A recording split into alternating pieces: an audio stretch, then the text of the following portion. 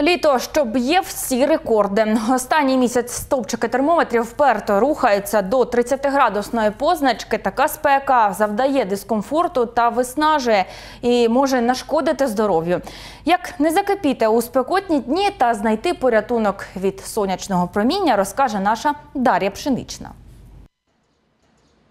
Дніпрянка Альона важко переносить аномальні температури. Через спеку в дівчини часто паморочиться в голові, темніє в очах та інколи зовсім немає сил.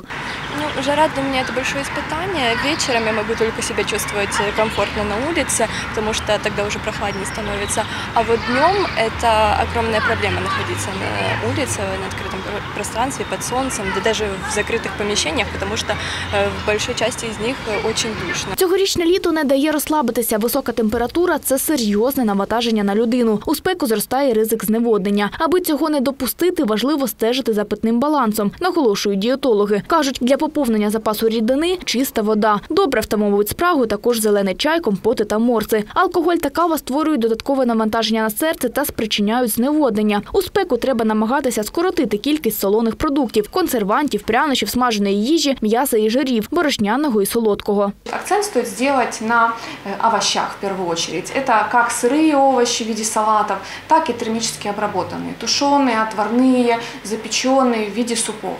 Вот. И обязательно в рационе легкие белки. Это яйца, это кисломолочные продукты, это нежирная рыба и птица.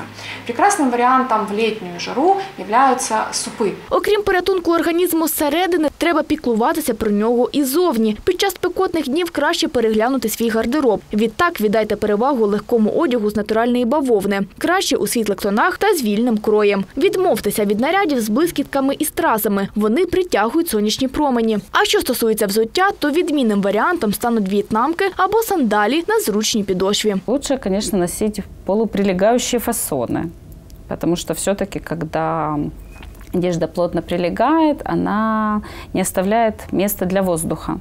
На самом деле брюки легкие, при этом полностью закрытые, и, к примеру, рубашка с длинным рукавом, она обеспечит вам такую прохладу. Лікарі попереджають, тривале перебування на жарі загрожує тепловим та сонячним ударами. Серед їхніх ознак – головний біль, нудота, слабкість та пришвидшений пульс. У складних випадках втрата свідомості, судоми та загострення серцево-судинних захворювань. Якщо ж на сонці людині стало зле, їй треба надати першу допомогу, наголошують медики. Самое основное, если это возникает, если это происходит на открытом солнце, попытаться его, так скажем, перетранспортировать э, и с открытого солнца в тень.